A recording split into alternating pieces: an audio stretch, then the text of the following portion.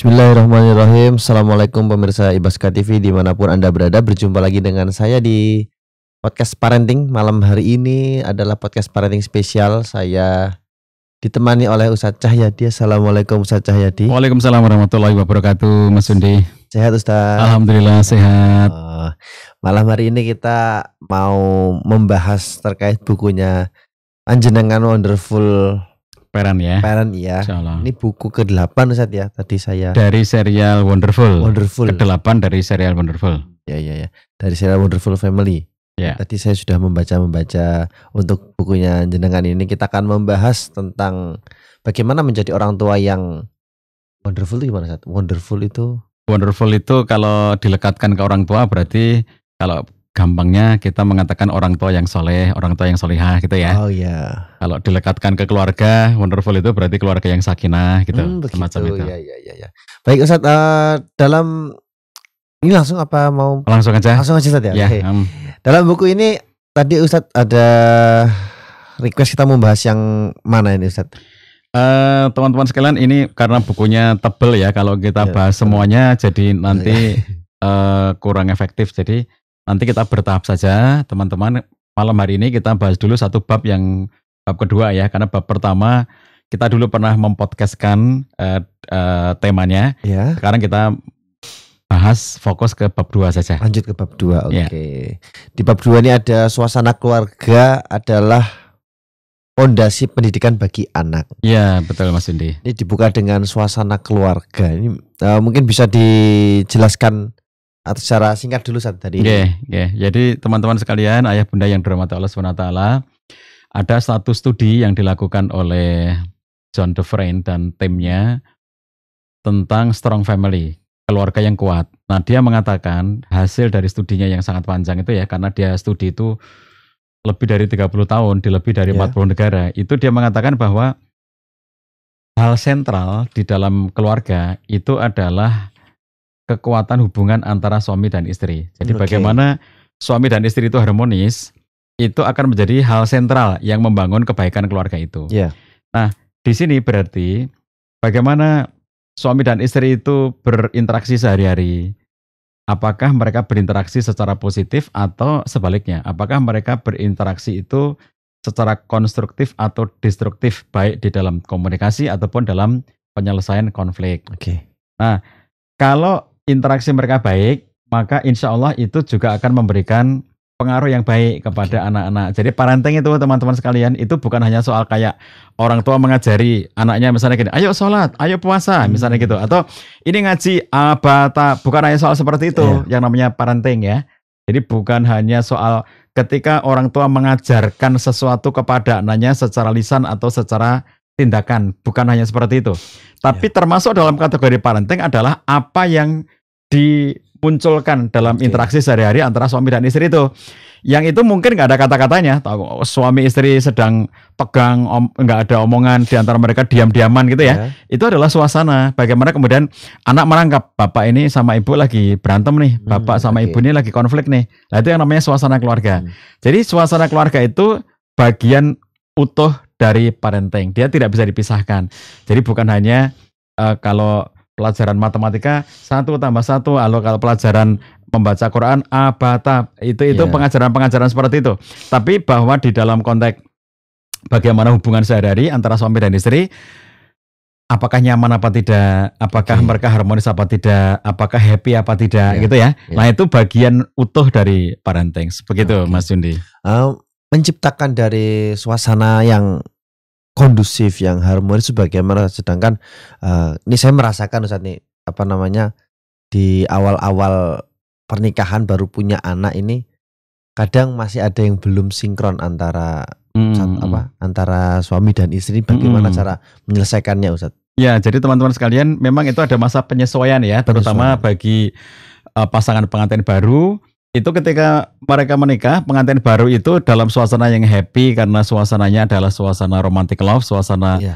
kalau penjelasannya Bu Yamka itu yang disebut dengan uh, mawadah. Mawadah itu cinta kasih sayang pada pengantin baru, itu mawadah. Nanti kalau sudah pengantin lama itu namanya rohmah kata Bu Yamka. Jadi Hmm, oke. kalau pada pasangan baru yang baru menikah itu mereka saling bahagia karena suasana pengantin baru gitu. Ya. Tapi begitu nanti ada anak.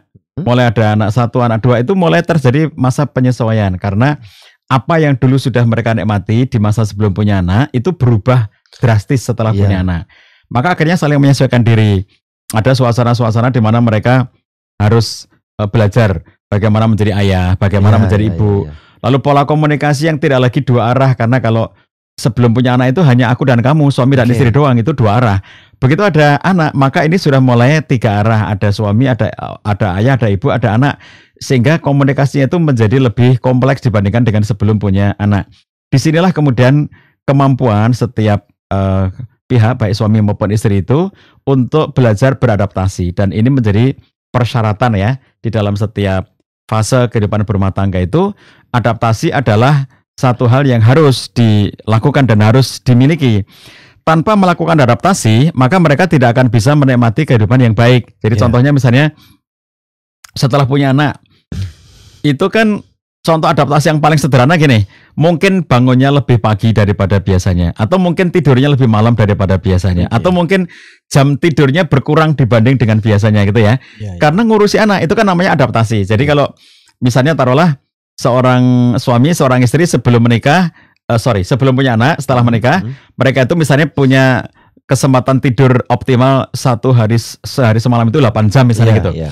Setelah punya anak bisa jadi itu berkurang banyak karena anaknya nangis, anaknya rewel, Ah, anaknya nggak bisa tidur dan seterusnya. Bisa jadi hanya lima jam sehari semalam gitu. Nah pola perubahan seperti ini itu kan menyebabkan perubahan pola pola komunikasi. betul. Suami yang capek, istri yang capek, suami kerja sementara dia merasa kurang tidur, istrinya juga meskipun seandainya istri itu nggak bekerja, dia di rumah tetapi dia ngurusin anak. ngurusin anak Ya. dan capek gitu ya karena tidurnya sedikit. Nah semacam itu, sang istri merasa kok kayak aku sendirian yang punya anak gitu, sementara suaminya nggak ikut ngurusi. Sementara sang suami, aku sudah kerja nyari nafkah capek-capek dan ternyata eh, aku di rumah nggak bisa istirahat karena Ya. harus ngurusi anak dan seterusnya. Ini namanya adaptasi. Jadi semua dari kita itu harus bersedia untuk melakukan adaptasi supaya jadi gini ada teori yang namanya homeostatis. Homeostatis itu adalah eh, manusia itu secara fitrah, secara naluriah, secara natural Iya. itu akan bergerak menemukan titik-titik keseimbangan.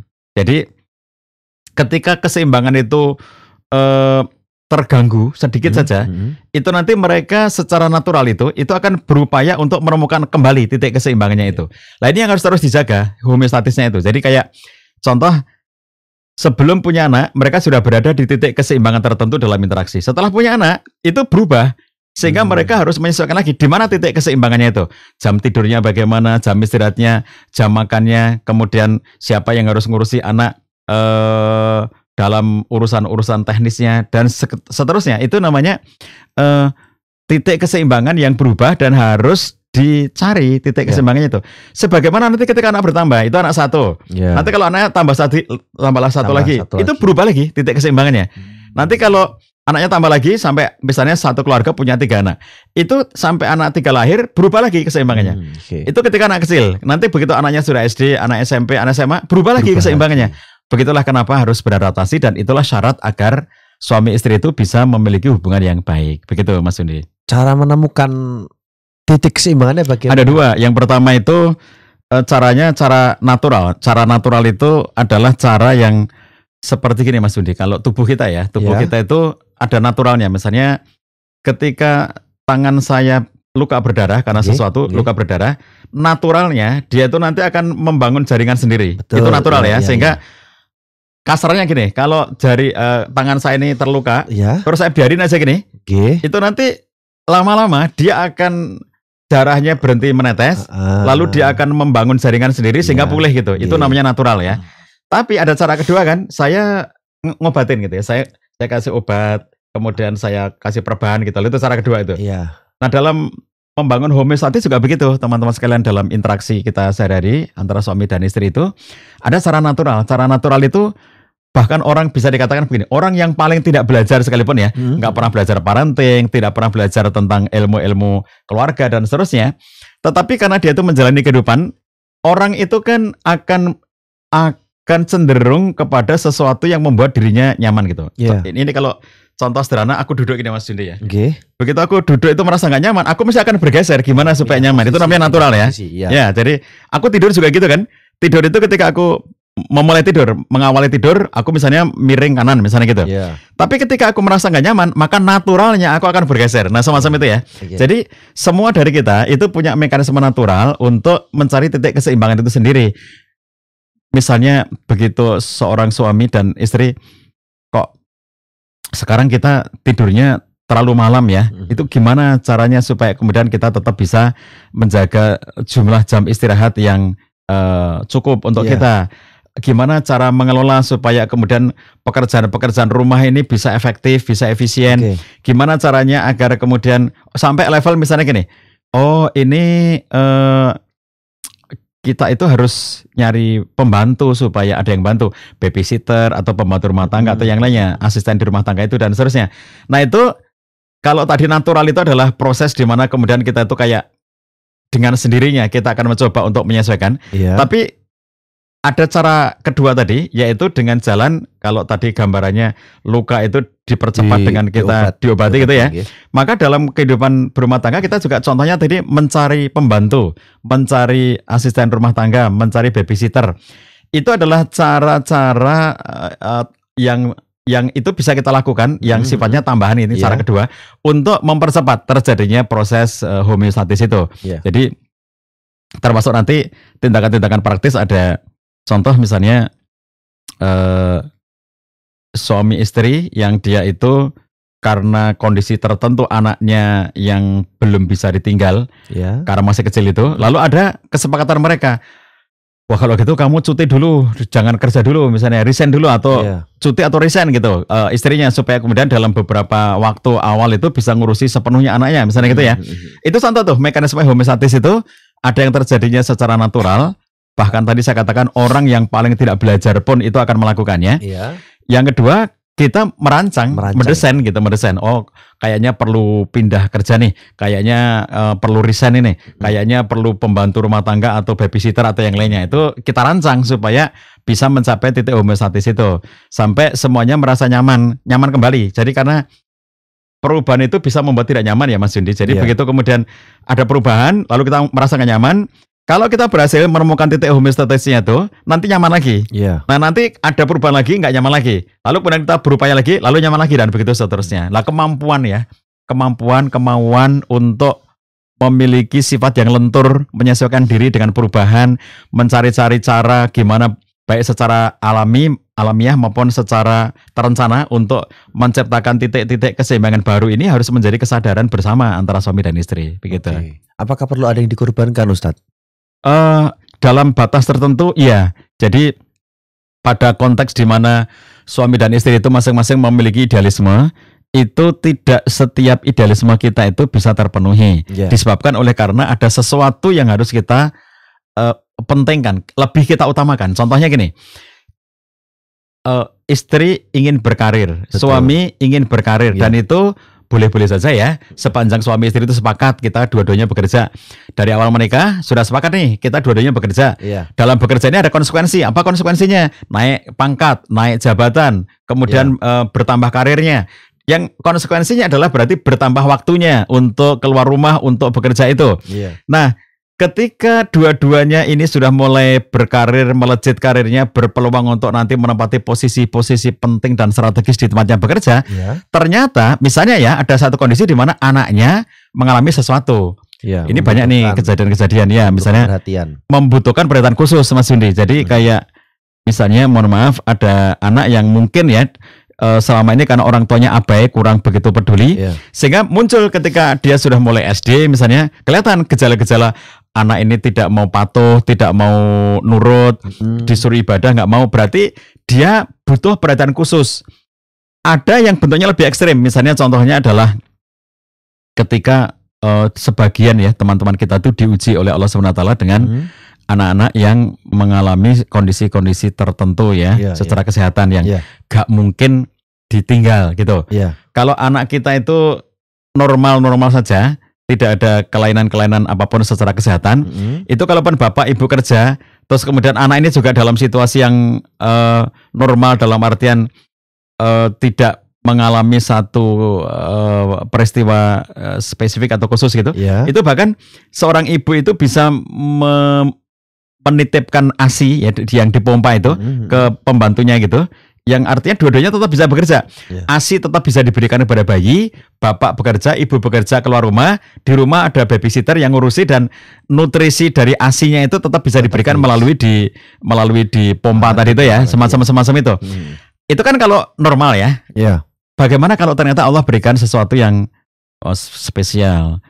Eh, beberapa teman kita harus ngurusi anak karena ada yang cerebral palsy, ada yang autis, Ya. ada yang eh, dan seterusnya ya macam-macam yang kalau ngelihat kehidupan mereka tuh luar biasa dan pada titik seperti itu nggak mungkin kalau ini tuh kita berkarya dua-duanya gitu. Nanti Ya. siapa yang ngurus anak kita? Nah semacam itu ya. Ya, ya. Maka mereka harus berembuk siapa nih yang harus ngurusi anak kita secara lebih spesifik.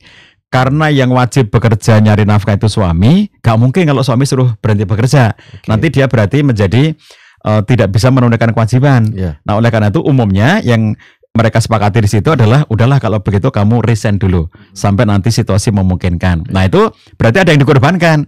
Itu contoh pengorbanan dalam bentuk karir atau bekerja. Ada contoh pengorbanan lainnya misalnya dalam bentuk studi lanjut. Iya. Misalnya seorang istri yang sudah bercita-cita aku nanti mau S2 ke mana, S3 ke mana gitu ya. Cita-cita yang sangat mulia, belajar lanjut itu. Tapi begitu ngelihat situasi tertentu pada anaknya, akhirnya kemudian mereka merasa oh enggak enggak enggak mungkin ini kalau seperti ini. Jadi akhirnya kemudian mereka menjadi eh me- mengurungkan niat ini ya atau menunda minimalnya, menunda. Mhm. Jadi pengorbanan itu dimulai sejak dari menunda sesuatu yang mestinya sekarang tapi nggak jadi sekarang gara-gara uh, ada sesuatu yang lebih dipentingkan atau sampai level nggak sama sekali. Jadi yang semula itu aku pengen keluar negeri akhirnya nggak sama sekali karena situasi tertentu Karena pada situasi anaknya. tertentu. Nah seperti itu ya. Jadi uh, dalam konteks tertentu ada yang memang harus dikorbankan tapi tidak selalu ya karena ketika Allah itu berikan kepada kita anak yang ya taruhlah baik-baik saja gitu ya Mhm, ya. itu bapak ya tetap bisa bekerja, ibu tetap bisa bekerja, tidak perlu ada yang dikorbankan yang mau belajar ke luar negeri berdua juga tetap bisa gitu ya. Itu juga banyak contoh seperti itu gitu. Nah, tentu masing-masing keluarga memiliki kondisinya yang berbeda-beda. Nah, kalau kita bicara tentang tadi ada kondisi khusus Ustadz, Mm-mm. bagaimana cara komunikasi antara suami istri ini agar bisa saling memahami dan tidak merasa saling dicederai Mm-mm, mm-mm. Jadi atau dirugikan? jadi eh, memang ada banyak contoh kejadian ya kalau kami di ruang konseling itu di mana ketika Allah itu memberikan ujian kepada eh, satu keluarga dengan kehadirnya anak yang berkebutuhan khusus itu ya, itu kadang-kadang tidak siap secara mental. Jadi ketidaksiapan secara mental itu berdampak kepada situasi di antara suami istri itu yang saling menyalahkan, saling istilahnya melarikan diri dari tanggung jawab, Ya. melemparkan itu hanya kepada pasangannya gitu sehingga kalau kita lihat dalam contoh-contoh yang ekstrim itu misalnya begitu ngelihat anaknya ternyata berkebutuhan khusus seorang suami melarikan diri dari rumah dia nggak mau lagi pulang ke rumah dan nggak jelas ke mana gitu. Ya. Nah ketika sang istri ini ditinggal oleh suaminya tanpa kejelasan apa-apa Hmm. sementara dia harus ngurusi seorang bayi seorang anak yang berkebutuhan khusus dia pun nggak tahan akhirnya sang istri pun pergi jadi akhirnya bayi yang berkebutuhan khusus itu harus diurusi oleh kakek neneknya. Anak ini pergi, menantu pergi, nggak jelas ke mana gitu. Ini contoh ya ketidaksiapan untuk menghadapi situasi-situasi yang khusus seperti itu. Nah oleh karenanya, ketika terjadi situasi yang kebutuhan khusus seperti itu, yang harus dilakukan oleh suami dan istri itu nomor satunya adalah menyadari sepenuhnya bahwa itu adalah pemberian Allah SWT kepada mereka.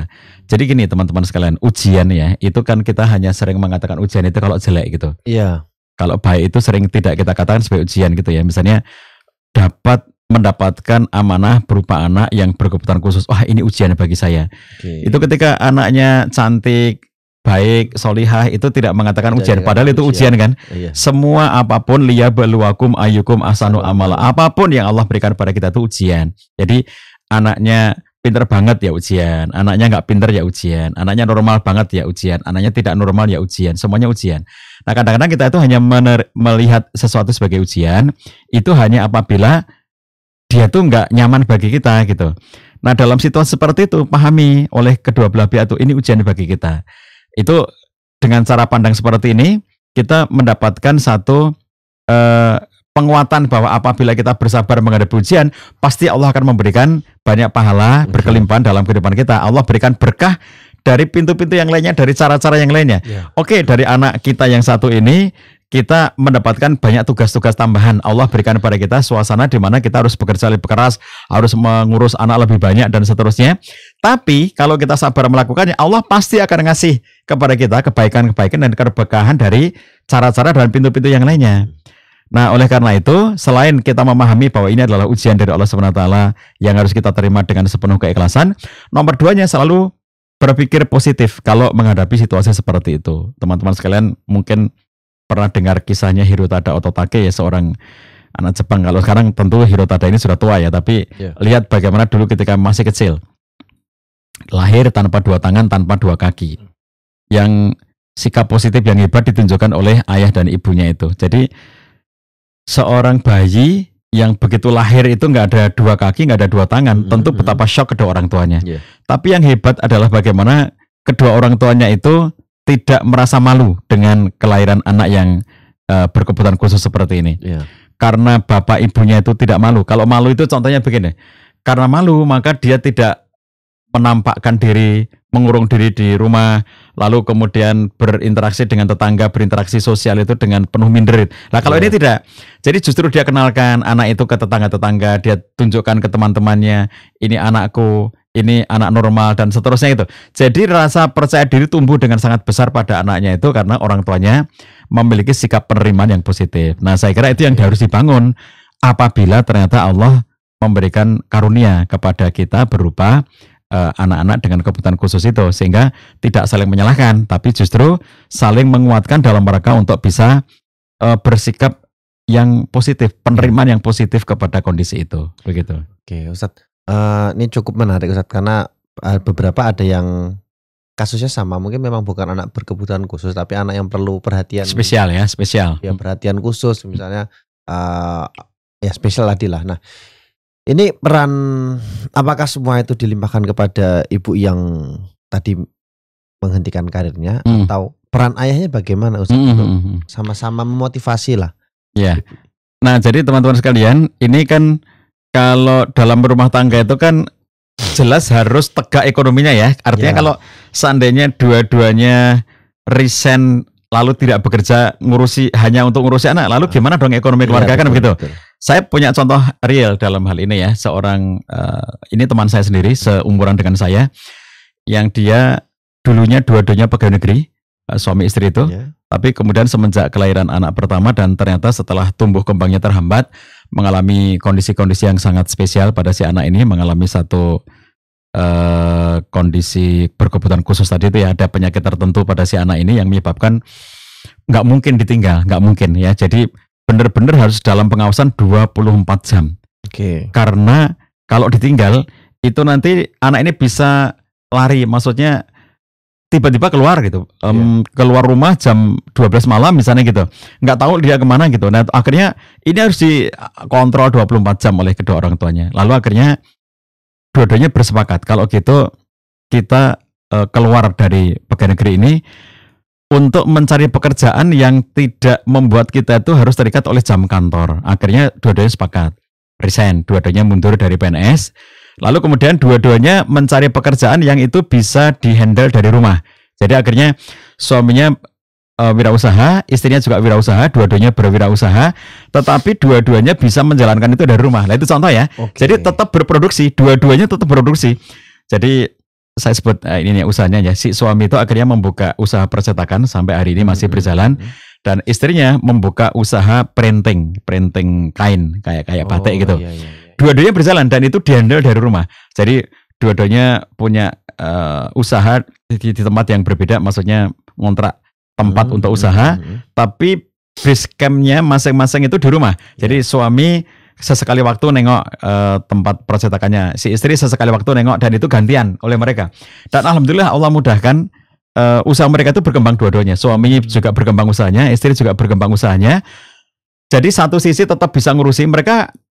Kalau tidur itu bergantian, tidak mungkin suami istri itu tidur bareng gitu nggak mungkin. Jadi maksudnya tidur bareng itu tidur dua-duanya gitu Iya, ya maksudnya iya, itu. iya, iya. Jadi satu melek, satu tidur, satu melek, satu tidur harus begitu. ngawasin anak. Ngawasin anak. Jadi kan eh, dalam situasi kayak begitu tidak mungkin kalau kemudian mereka itu dua-duanya PNS gak mungkin karena Iya, nanti iya. harus ada jam kantor Iya, yang jam pasti. kantor. Jadi ini contoh ya, teman-teman sekalian saya ambil contoh yang nyata bahwa ketika terjadi situasi seperti itu, itu tentu yang berperan harus dua-duanya, bukan hanya istrinya, bu- Oke. bukannya sang ist- ibu yang harus ngurusi anaknya, bukannya begitu.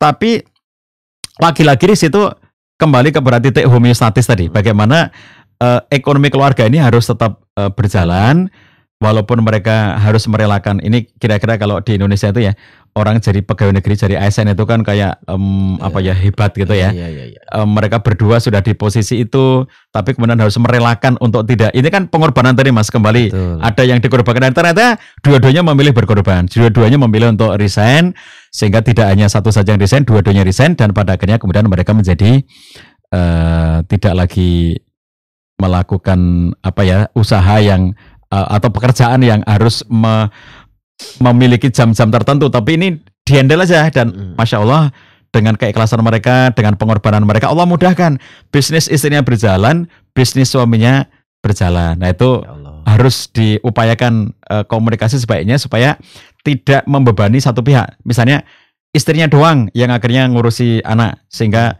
dia kecapean atau suaminya doang yang ngurusi anak sehingga istri- dia kecapean. Tentu tidak begitu ya. Dua-duanya harus Oh, berkontribusi. ada ada peran keduanya. Kedua-duanya harus berperan. Iya betul. Kemudian selanjutnya Ustaz di dalam buku jenengan ada penjelasan tentang kondusif apa lingkungan yang kondusif untuk anak. Mm-mm. Ini eh, diciptakannya bagaimana Ustaz? Jadi teman-teman sekalian, eh, kalau kondisi rumah tangga kita ya, itu Iya. kan kondisinya itu tercipta dari banyak hal. Contohnya misalnya kalau tadi di awal tadi saya katakan dari kondisi hubungan suami istri. Jadi kalau Oke. hubungan suami istrinya baik, maka insya Allah itu juga akan bisa memberikan suasana yang baik. Hmm. Dan sebaliknya, Ya. kalau hubungan suami istri jelek, bisa memberikan suasana yang jelek gitu. Tapi eh, suasana rumah tangga itu, Hmm, itu hmm. tidak hanya terbentuk dari interaksi suami istri itu, ada hal-hal lainnya. Contohnya, misalnya di rumah kita itu ada apa? Di rumah kita itu ada fasilitas apa saja, Oke. ada sarana-sarana apa saja. Ada bahkan yang paling praktis itu kayak gambar-gambar yang kita tempel eh, postingan ini teman-teman bisa ngelihat di belakang saya ada Eh, tulisan-tulisan. tulisan-tulisan Ya. dan seterusnya itu ya. Ini kan berpengaruh suasana keluarga itu. Coba bayangkan aja misalnya kalau di keluarga itu yang ditempel itu gambar-gambar yang nggak baik ya atau ornamen-ornamen yang tidak baik gitu, yang tidak islami, yang Hmm. tidak syar'i yang itu nanti bisa menghadirkan apa ya setan atau jin masuk Ya, untuk oke, oke. mengganggu dan seterusnya gitu. Jadi suasana-suasana seperti ini, lingkungan ya, lingkungan yang kita ciptakan itu. Anak masuk itu contoh misalnya gini, ini kalau di pesantren Ibnu Abbas misalnya pagi-pagi ada lantunan tilawah Quran misalnya gitu Oke. atau di beberapa pesantren yang lainnya kalau pagi ada solawatan misalnya gitu. Hmm, Jadi hmm. orang masuk lingkungan itu bersuasana tilawah, bersuasana zikir, Hmm, bersuasana lingkungan, solawat gitu. oke. Itu lingkungan. Jadi bayangkan misalnya satu rumah eh, yang full full tiap harinya itu isinya lagu-lagu terus. ya. Em, saya, kita nggak sedang ngomongin hukum lagu teman-teman ya, Iya, nggak. iya, iya, kita iya. nggak sedang tidak sedang ngomongin hukum musik ya.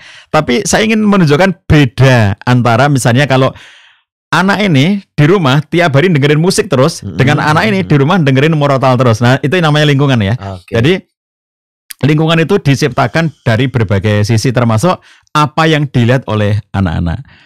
Ini ada eh, contoh nyata ya. Ini kejadian sudah lama banget ya. Oke. Kejadian lama banget saya dalam satu safar perjalanan jauh. Mungkin sudah 20 tahun yang lalu ini kejadiannya. Jadi dalam satu safar saya melintas di satu kota, saya ingat ini ada teman saya, teman lama tinggal di sini. Akhirnya kemudian saya eh mampir lah, saya singgah di rumah teman itu. Nah sekaligus singgah, saya kemudian numpang sholat ya karena memang Iya. sudah oh, waktu sholat, sehingga akhirnya kemudian saya minta izin saya eh, numpang sholat. Lalu dia mengatakan di sini tempatnya dan itu tempat yang sebetulnya bukan musola di rumahnya tapi tempat umum lah gitu ya. Ya ya untuk kegiatan ya untuk Ya. apa gitu, untuk macam-macam itu. Di rumah itu tidak ada yang definisi musola secara khusus itu nggak ada. Hmm. Lalu ke- kemudian saya wudhu dan kemudian setelah selesai wudhu dia naruh sajadah eh, untuk mengarahkan kiblatnya gitu. Nah saya kaget ketika begitu saya eh, di atas kiblat eh, di atas Di- sajadah iya. ngelihat kiblatnya di dinding itu itu ada gambar yang nggak patut gitu ya gambar itu sebetulnya kalender jadi teman-teman Oh, bisa ngerti kalau iya. namanya kalender itu kan orang masang kalender itu mungkin sebagian orang tidak berpikir gambarnya apa ya tapi Tanggalnya berpikir eh, tanggalannya gitu jadi itu kalender yang mungkin juga dia tidak membeli dikasih aja dari Oke, toko oke, atau dari iya. apa tapi kan banyak banget tuh gambar-gambar apa kalender yang gambarnya itu nggak nggak enak ya Iya, nggak iya, iya, iya. tidak patut ditonton sebetulnya gitu. Nah itu kayak gitu gambar itu. Jadi mungkin karena dia tuh tiap hari nonton kalender di situ, bagi dia ya memang itu letaknya di situ gitu. Dia nggak merasa sesuatu. Tapi kita sholat, mohon maaf gambar di depan itu kalender itu perempuan gitu ya dengan pakaian yang tidak menutup aurat gitu. Mm-mm. Jadi ketika saya bilang sama dia begini, ini ini eh saya nggak nyaman saya bilang gitu. Saya Mm. saya mau mengatakan kalau kalender. nggak kalender itu kok gimana? Saya mudah-mudahan dia ngerti maksud saya gitu Iya. dia bilang oh itu sudah tepat ininya arah kiblatnya sudah benar kata dia ini saya bilang akhirnya ini bukan soal arah kiblat tapi soal mbaknya ini saya bilang gitu Ah, dia baru nyadar oh ya saya, saya ambil gitu nah itu contoh teman-teman sekalian bagaimana kalau rumah ya yang misalnya ya kalau ternyata hiasan-hiasannya itu mohon maaf kalau eh, model-model seperti itu yang Iya, iya. auratnya terbuka di dipajang-pajang segala macam dan padahal itu siapa ya? Maksudnya itu apa ya? Maksudnya itu orang asing ya? Iya, iya. orang asing yang harusnya kalau eh, dia tuh nutup aurat ternyata nggak nutup aurat dan dipajang di, di rumah-rumah kita kan kebayang ya? Itu lingkungan yang akan tercipta terhadap anak kita seperti apa? Anak kita dibiasakan ngelihat sesuatu yang tidak pada tempatnya. Oke. anak kita dibiasakan ngelihat oh ini aurat kelihatan nggak apa-apa. Nah semacam itu ya. Seakan-akan nanti terjadi Pembiasaan, pembiasaan-pembiasaan ya. semacam itu. Oke. Ah, dari eh, kondusifnya ini hanya apakah sebatas di rumah saja atau di lingkungan? Karena kadang lingkungan mempengaruhi juga Ustaz ya. Nggih, Ada nggih. anak yang nggak boleh keluar rumah karena lingkungannya kurang baik untuk iya iya pembentukan dia. Nah, menanggapi hal ini bagaimana Ustaz? Nah itu ada eh, jenis lingkungan tadi yang yang saya sebutkan tadi lingkungan kecil di rumah kita sendiri, Ya. yang kedua lingkungan besar di sekitar kita. Jadi lingkungan itu kalau yang paling kecil kan di rumah kita sendiri ya. Ya. Bagaimana kita menciptakan lingkungan di rumah kita sendiri. Hmm. Sejak tadi misalnya kalau saya beri contoh eh, lantunan tilawah Quran Tilawah tentu Quran. berbeda dengan lagu nah, semacam itu. Nah kalau lingkungan sekitar, lingkungan besar itu adalah bagaimana kita dengan tetangga-tetangga, dengan lingkungan sekitar kita. Nah di situlah pentingnya kita untuk kita bisa eh, ikut terlibat di dalam memperbaiki lingkungan. Mhm. Jadi tidak mungkin kita itu mendapatkan lingkungan yang 100% baik, enggak mungkin ya. Jadi di mana pun kita berada, bahkan begini teman-teman sekalian, ini contoh yang eh, saya saya bikin dua yang ekstrem ya. Satu satu komplek perumahan Islami yang disebut dengan komplek perumahan Islami, misalnya gitu. Ya. Yang boleh di situ hanya yang Muslim dan melaksanakan ibadah, misalnya gitu. Hmm. Kemudian yang kedua komplek perumahan umum yang tidak ada embel-embel Islaminya gitu. Jangan mengira bahwa dalam komplek pemukiman atau perumahan Islami itu lalu nggak ada sesuatu yang tidak Islami. Jangan mengira begitu. Hmm, ya, ya, Tetap ya. saja, contohnya saya ambil contoh begini. Satu komplek perumahan yang kita sebut Islami tadi Mhm. misalnya terdiri dari 50 kepala keluarga, 50 rumah, Mhm. terdiri dari 50 kepala keluarga. Mereka punya anak-anak, ya. Anak-anaknya ada yang TK, ada yang SD, ada yang SMP, ada yang SMA gitu. Mhm. Sekolahnya berpencaran anak-anak ini itu. Ada yang SMP-nya di SMP negeri, SMP Islam, Hmm. SMP swasta, SMP mana SMA-nya juga begitu. Nah, begitu mereka pulang ke rumah, mereka membawa kebiasaan dan pergaulannya dari Luar lingkungan sana. dari luar sana Ya. Kembali ke perumahan itu lah kan tetap saja di situ nanti akan terjadi sesuatu yang misalnya di eh, SMP-nya di luar sana Ada Oke. teman-teman yang biasa membuli atau kebiasaan-kebiasaan Iya. merokok atau kebiasaan-kebiasaan yang bahkan omongannya jelek-jelek seminggu yang lalu eh, Mas Sundi saya eh, eh, di satu tempat wisata ya Iya. habis habis acara terus saya ke tempat wisata bersama dengan rombongan teman-teman Mhm. kami duduk eh, makan siang di tempat itu itu sebelum kami datang di tempat itu sudah ada sekelompok anak-anak yang kalau saya ngelihat penampilan mereka itu eh, kira-kira SMA kelas-kelas 1 gitu kelas 1 Iya, SMA iya, gitu iya. cowok-cowok gitu pada Oke. ngumpul-ngumpul gitu. Kemudian begitu kami duduk, itu saya terkejut-kejut mendengar omongan-omongan mereka, istilah-istilahnya, apa istilahnya itu, Eh, kosakatanya ya, Iya. kosakata yang diucapkan itu, masya Allah. Saya itu terkejut-kejut itu karena aku nggak pernah dengar kata-kata kayak gitu ya. Ini anak-anak SMA oh, pelajar kelihatan Hmm. kalau mereka sedang eh, anak-anak pelajar yang sedang berlibur semacam itulah di Iya. tempat itu. Jadi kalau kita perhatikan mungkin kalau di lingkungan tadi saya katakan perumahan Islami itu di situ orang tuanya baik semuanya. Tapi ketika anaknya sekolah keluar, dia berinteraksi dengan anaknya orang lain. Oke. Dia berinteraksi dengan lingkungan yang umum. Lalu itu bisa berpengaruh kepada dirinya. Lalu Hmm, membawa ke, hmm. ke perumahan kita. Dia mulai dengan istilah-istilah yang jelek-jelek tadi yang didengar dari teman-temannya. Kosakata-kosakata yang jelek yang kalau bahasa yang kalau menurut eh, orang-orang yang terbiasa di lingkungan baik gitu, Hmm, hmm. kayak gitu tuh oh gak patut banget deh itu kayak orang misuh-misuh kayak orang Oke. eh, memaki-maki kayak orang omongannya jelek-jelek banget. Itu kok kok ngomong kayak gitu gitu. ya. Dengan santainya gitu loh. Dan itu bisa jadi akhirnya membawa pengaruh kan ke komplek perumahan yang tadi kita katakan Islami Oke, tadi itu padahal ini sudah kita maunya itu kenapa yang boleh tinggal di situ hanya yang Islam? Oh teta- ternyata memang dia eh, bisa saja meskipun awalnya itu yang datang itu Islam semuanya diseleksi segala macam Hmm, hmm, tapi karena anak-anak kita belajar di mana-mana, akhirnya tetap saja berinteraksi. Ya. Belum lagi yang pengaruh medsos ya. Oke. Ini yang tadi barusan lingkungan eh, langsung di sekolahnya masing-masing. Ada lingkungan medsos. Dia dapat kata-kata baru di Ya, medsosnya, lihat, eh, ngeliat perilaku, istilah-istilah lalu diterapkan. Nah, jadi kan kalau kita perhatikan pentingnya kita untuk kita itu tidak saja berbicara tentang eh, memperbaiki rumah tangga kita sendiri, Hmm. tapi kita berbicara tentang bagaimana ikut terlibat memperbaiki lingkungan sekitar.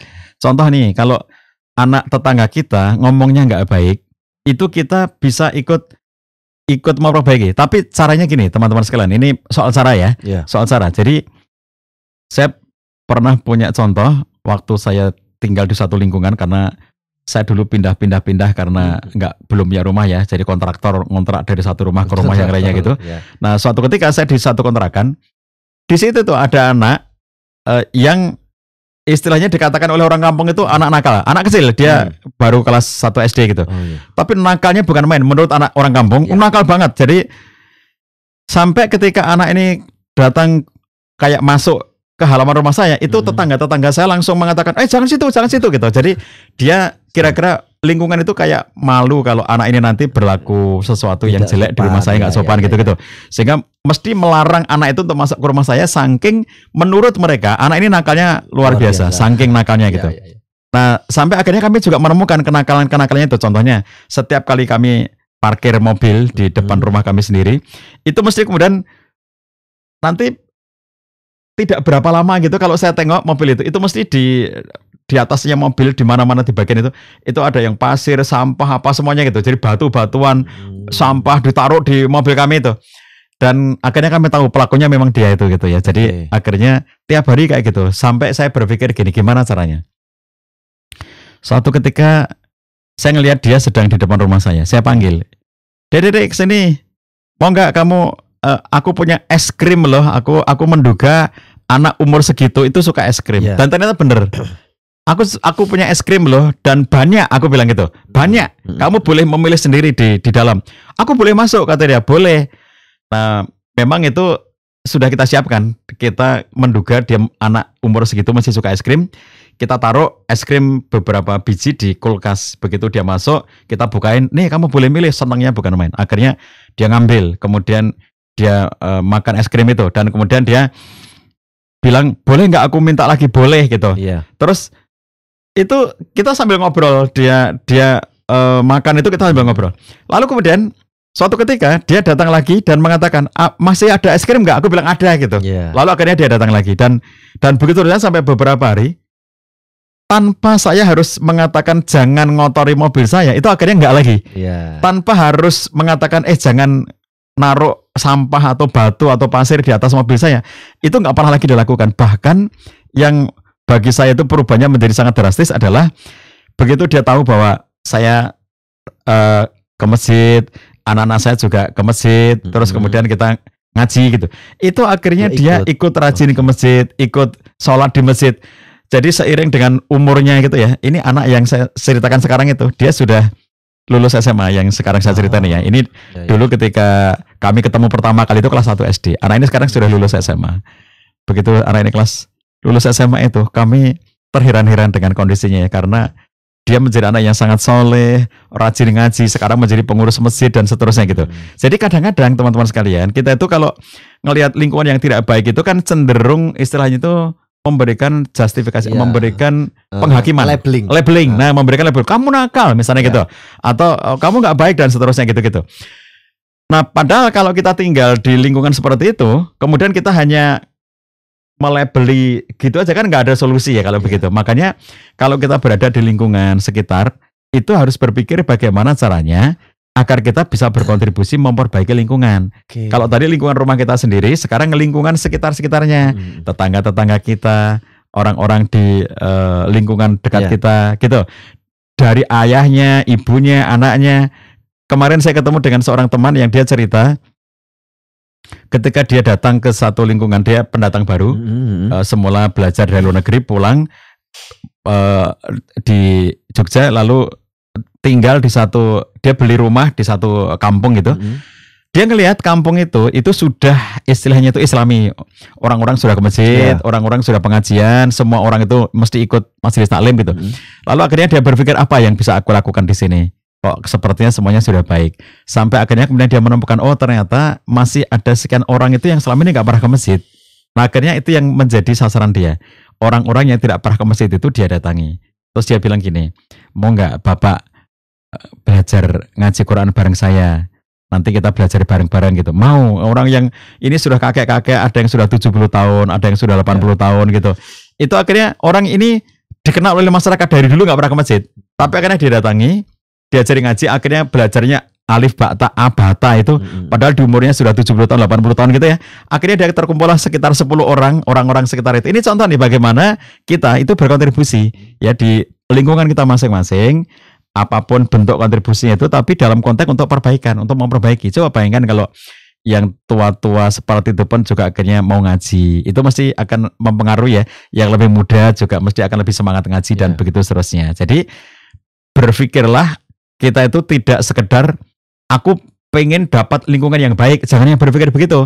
Karena susah kalau begitu. Yang bisa kita lakukan adalah aku berusaha untuk memperbaiki lingkungan. Untuk memperbaiki. ya jadi kalau berpikir aku pengen lingkungan yang baik itu hasil. Ya. padahal itu susah. Nyari di mana coba Tidak lingkungan? bisa ya susah kan? Tepat, ya Ustaz. makanya kita kita kita berpikir kalau begitu aku harus berusaha untuk memperbaiki Membuat lingkungan, lingkungan. ah semacam itu membuat lingkungan yang baik. Ustadz eh, ini agak bergeser sedikit ke lingkungan di pondok ini Ustadz. Oke, Saya oke, oke. Karena ag- agak relate juga dengan kondisi anak-anak saat ini.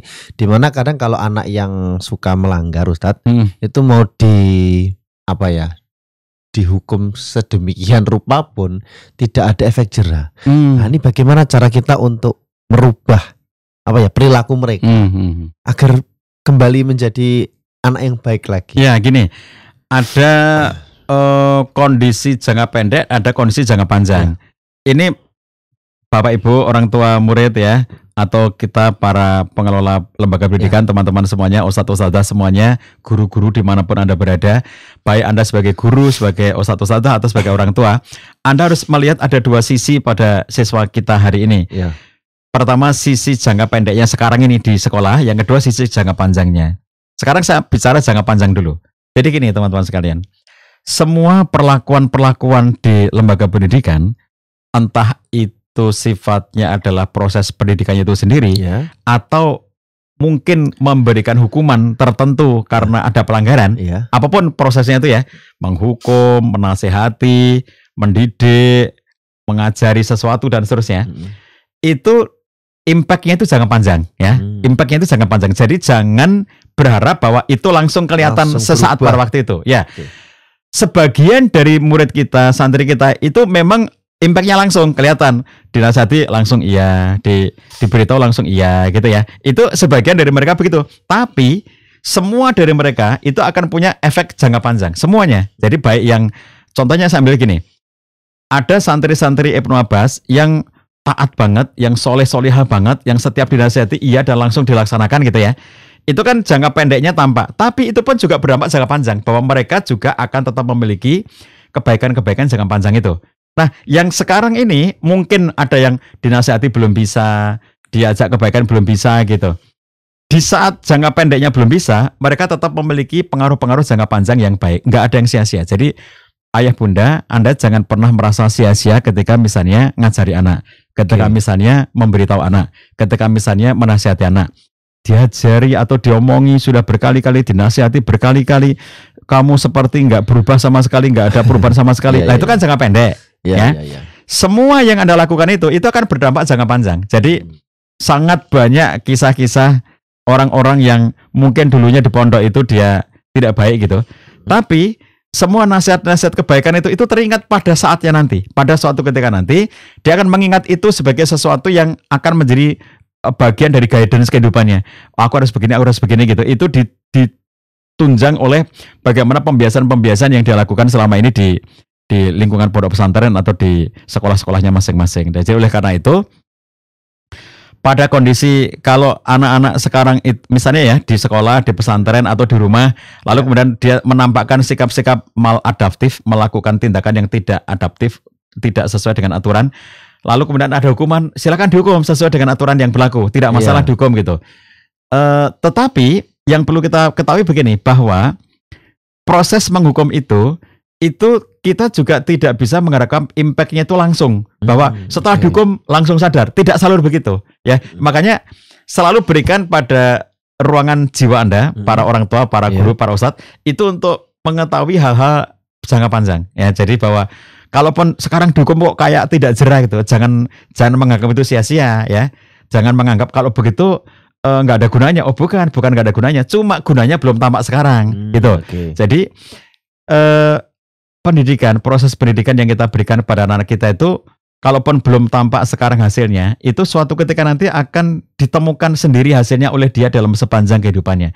Ada titik di mana dia akan menikmati proses pendidikan itu yang dia dapatkan dulu dari dari pondok pesantren, dari lingkungan pendidikan. Itu ada saatnya. Memang yang diperlukan adalah sekarang kadang-kadang eh, orang tua nggak sabar, sudah diomongi kayak enggak Ya, ya, nurut segala macam. Lah, Itu yang menyebabkan ketidaksabaran.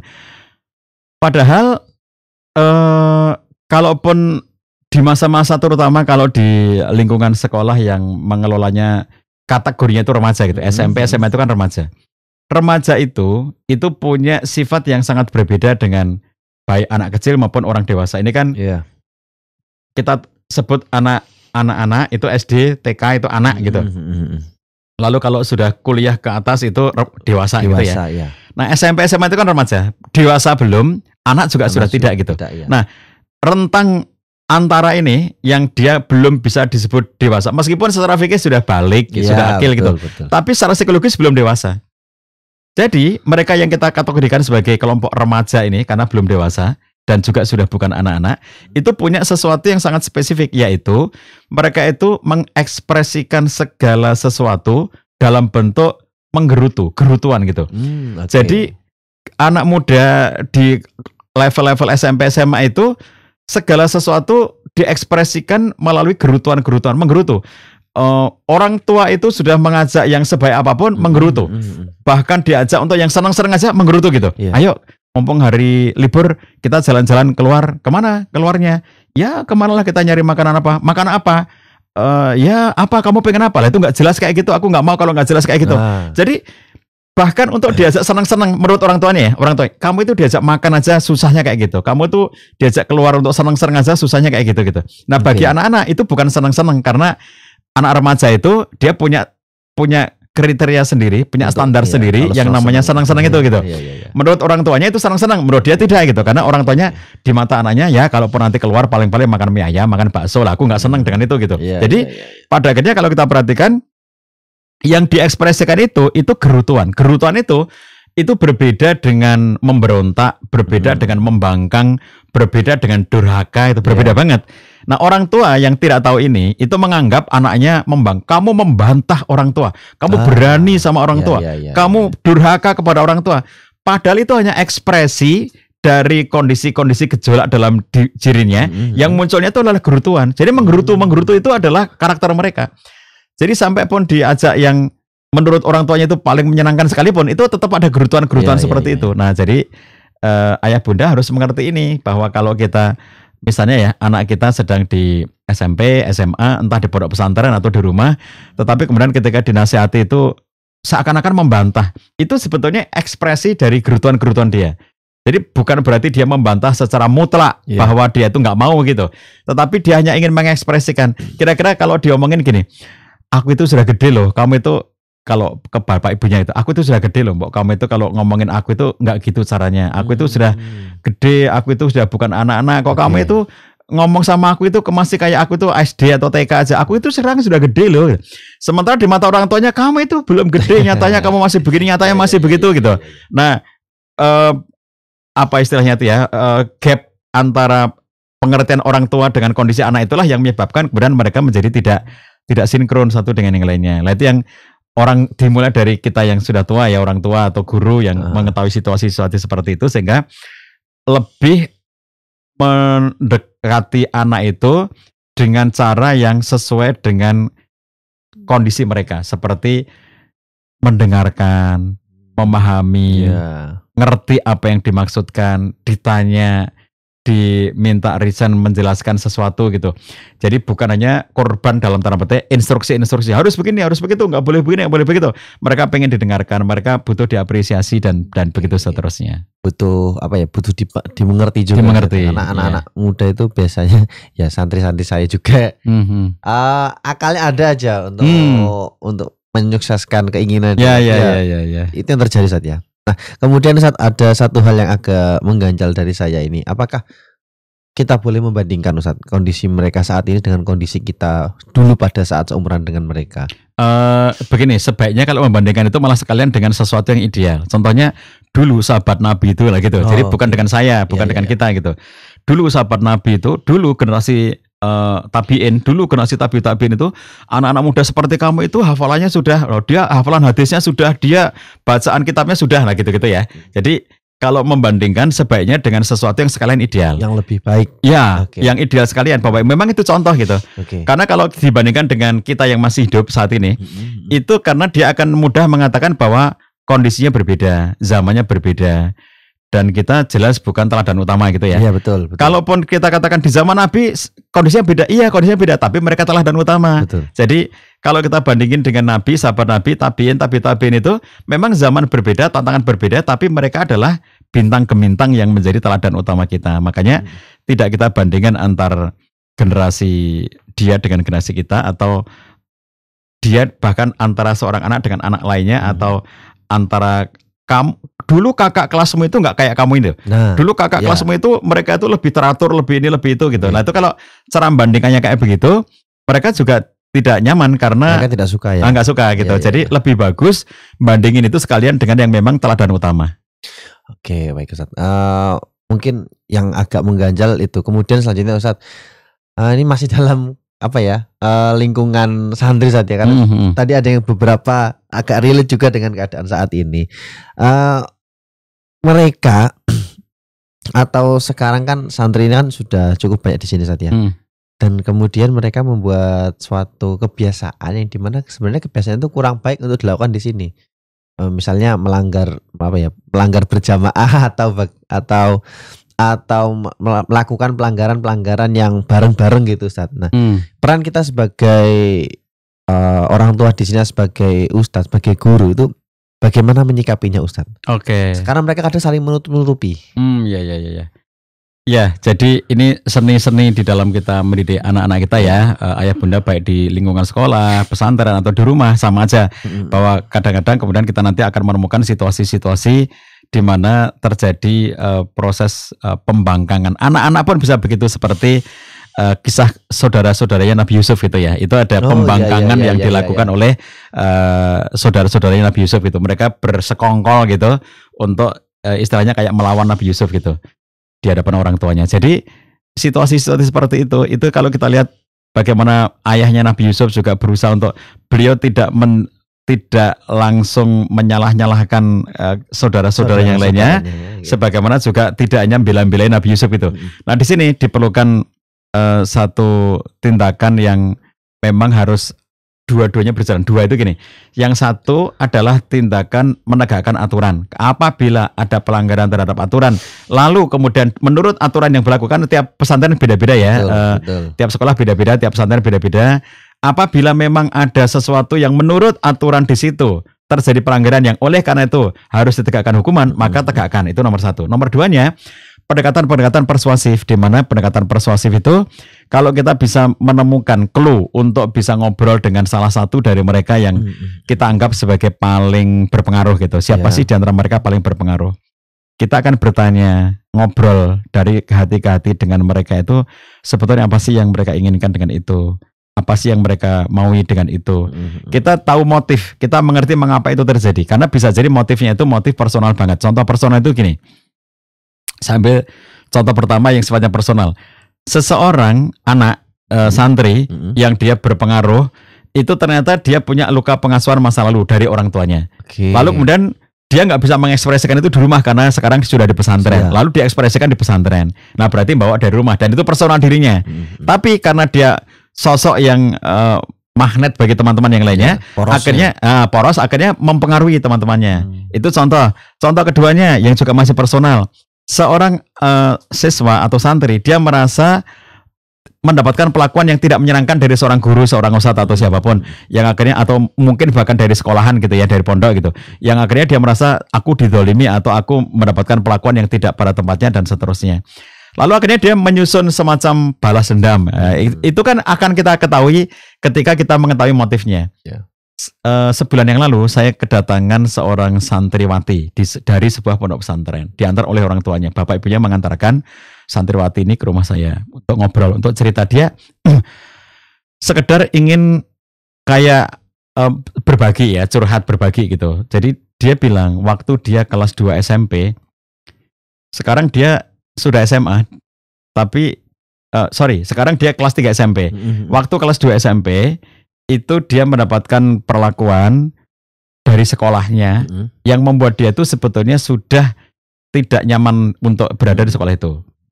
Tapi bapak ibunya berhasil membuat udahlah kamu sabar-sabar sabar. Akhirnya dia berhasil bertahan sampai sekarang dan nanti sampai lulus gitu. Hmm. Apa yang membuatnya merasa tidak nyaman itu? Itu adalah ketika eh, suatu hari terjadi eh, keributan di kelas itu karena ada seorang siswa yang merasa kehilangan barang Oke. perempuan siswi kehilangan barang digeledahlah oleh guru dan ternyata barang itu ada di tasnya Oke. nah padahal dia bersumpah-sumpah demi Allah aku tidak mengambilnya dan aku tidak tahu kenapa barang itu ada di tasku gitu nah jadi karena terbukti bahwa itu secara material itu ada di tasnya maka dia kena hukuman itu yang membuat dia menjadi kayak dendam, Dendam. dengan sekolahan itu aku tidak mengambil tapi aku dihukum gitu Ya. Dan di- bisa dikatakan dipermalukan di depan teman-temannya karena ketahuan bahwa itu di tasnya. Padahal aku tidak melakukan. Oh itu luar biasa eh, berat dampak bagi si anak ini gitu ya. Nah saya ambil contoh kalau seandainya ada kejadian semacam ini seseorang anak yang dia mendapatkan perlakuan yang menurut dirinya itu sekolah yang salah bukan aku Iya. yang salah. Aku tidak mencuri. Eh, aku tidak tahu mengapa benda itu ada di tasku. Mungkin saja ada temanku yang memasukkan ke dalam tasku dan seterusnya gitu Lalu kemudian karena dia merasa diperlakukan dipermalukan di depan Hmm. teman-temannya, kemudian dihukum padahal dia tidak bersalah. Lalu bagaimana kalau anak seperti ini karena dia punya pengaruh lalu akhirnya melakukan satu bentuk eh, perlawanan gitu ya. Eh, Ya. dengan jalan mengorganisir teman-temannya, ayo kita memberontak misalnya dalam bentuk nggak mau sholat berjamaah, tidak mau melakukan ini, nggak mau melakukan misalnya Hmm, semacam itu. oke. Ini kan baru kita ketahui setelah kita ngobrol kan mendapatkan satu clue untuk kita bisa ngerti apa reason di balik itu. Penyebabnya apa? Penyebabnya apa? Mungkin personal banget seperti ini. Jadi personal itu sebetulnya hanya satu orang gitu. Tapi karena dia berpengaruh akhirnya ngajak yang lainnya, Ngajak yang lainnya, menyusun pemberontakan kepada yang lainnya gitu. Oke. Nah, jadi kan ini butuh kita ketahui nih sebetulnya apa yang menjadi latar belakang itu karena apakah itu memang karena yang disebut luka pengasuhan itu kalau di dunia konseling itu nyata ya teman-teman Hmm. sekalian ayah bunda itu nyata banget ya. Jadi itu bukan sekedar teori, bukan sekedar wacana, itu nyata. Bahkan itu sangat berpengaruh di dalam eh, pengembangan kepribadian eh, siswa-siswi di mana pun nanti. Itu mereka ketika mendapatkan satu kondisi luka pengasuhan masa lalu dari misalnya orang tuanya, sementara sekarang dia di pondok pesantren, itu kan ekspresinya di pesantrennya, melampiaskan ya. Melampiaskannya, Ya, ya, karena ya. sedang tidak di rumah gitu. Jadi oleh karena itu ini kan ya memang eh, pesantren-pesantren kita ada pekerjaan-pekerjaan tambahan gitu ya. Contoh-contoh seperti ini itu pekerjaan tambahan gitu yang seandainya semuanya baik-baik saja tidak perlu melakukan Iya, sesuatu betul. seperti ini. Tapi ini ada ekstra gara-gara ada satu kondisi tertentu di mana kita harus secara ekstra untuk melakukan pendekatan, mencermati, memahami apa Memberikan yang sebetulnya ya. terjadi, kita dengerin apa yang terjadi pada dirinya.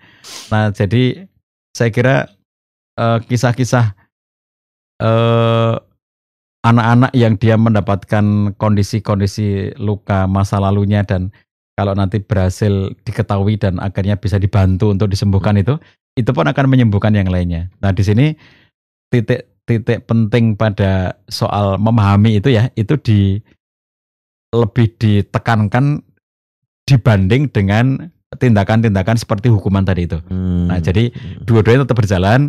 Ini namanya menegakkan aturan, tapi sisi yang lainnya adalah mencoba untuk memahami apa sebetulnya yang sedang terjadi dan supaya lebih tepat di dalam mengambil tindakan Oke. eh, penyelesaian nantinya gitu. butuh konseling mungkin ya Semacam itu. ya. Siap ah eh, apa namanya yang kalau dapat saya simpulkan kita harus bisa mencari banyak solusi dari Betul. setiap permasalahan yang muncul pada anak kita baik anak eh, biologis ataupun anak Ideologis. ideologis semuanya harus Iya. bisa. Kemudian kita juga harus terus belajar dalam mendidik anak. Mungkin eh, ini sudah di penghujung acara Ustaz ada yang mau disampaikan dalam penutup. Ya, eh, ayah bunda yang dirahmati Allah SWT, eh, sesuai dengan tema kita malam hari ini ya dari buku Wonderful Parent Parent. itu kita mengambil satu sub di bagian kedua adalah bagaimana suasana keluarga itu sangat berpengaruh dan bahkan menjadi pondasi dari eh, pendidikan anak. Iya. Nah, suasana keluarga ini harus kita ciptakan dengan sadar ya. Diciptakan dengan perencanaan, diciptakan dengan sepenuh kesadaran. Karena suasana itu ada yang tercipta dengan sadar, ada yang tercipta dengan tidak sadar. Contoh ya. Hmm. Jadi kalau ayah bunda mohon maaf sedikit eh, mengulik tentang pola asuh. Pola Hmm. asuh itu tidak selalu terjadi karena dipilih secara sadar. Bisa jadi pola asuh itu itu terjadi secara tidak sadar. Contoh nih, orang tua yang tidak peduli dengan anaknya sehingga akhirnya dia berlaku cuek gitu. Itu dia tidak menyadari bahwa pol, bahwa tindakan cueknya itu itu akhirnya berubah menjadi pola yang dikenal oleh anak. Itulah pola asuh orang tuanya, yaitu pola yang disebut dengan neglectful, pola yang abai. Oh, Jadi, iya, iya, iya. Pola asuh itu tidak selalu terjadi dari kesadaran aku memilih pola tertentu.